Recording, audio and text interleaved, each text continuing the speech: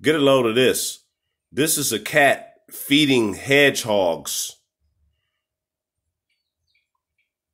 This is science, people. This is Esau science. A cat feeding hedgehogs, nursing the hedgehogs. Only science would put these two together. This don't happen naturally. This is unnatural.